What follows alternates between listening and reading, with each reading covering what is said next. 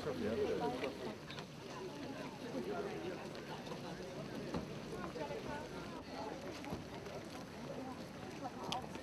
vous, droit devant vous, s'il vous plaît. Virginie là-haut, s'il te plaît. Là, par ici.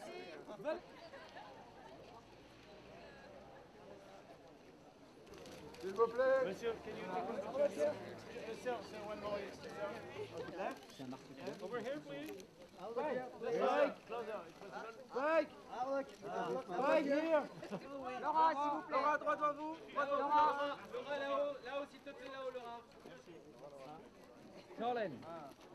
Face. Colin. Oliver, Oliver, please, Colin. Oliver, please. Oliver, Colin. Oliver, Colin. Colin, Colin, Oliver. Ah, parfait. Gad. Gad, Gad, Gad. Merci, Gad. Madame. Gad, Gad.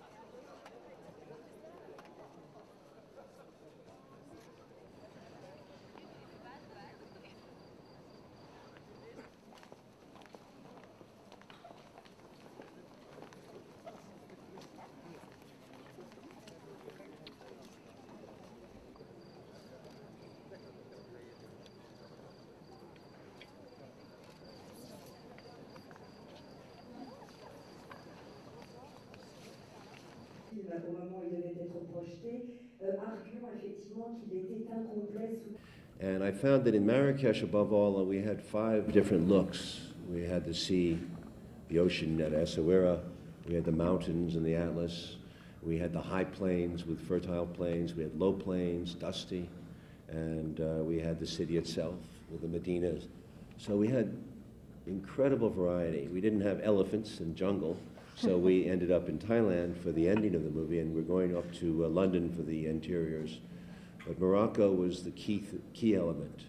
And the people, the government, the technicians, the people who are working, the actors, uh, it's been a wonderful experience. They've been extremely generous people. de Castro. Trop complaisant. Ah, vous avez touché sur quelque chose. The reason why I did the film is is because this man wrote an unbelievable, unbelievable. I've never read anything like it. I've read and I've done my fair share of shit um, in, in my you know nine year acting career, and I've never read anything like what Oliver wrote. And, uh, and of course, I wanted to work with him because he's a man of, opinion and a man of passion and, and, and life.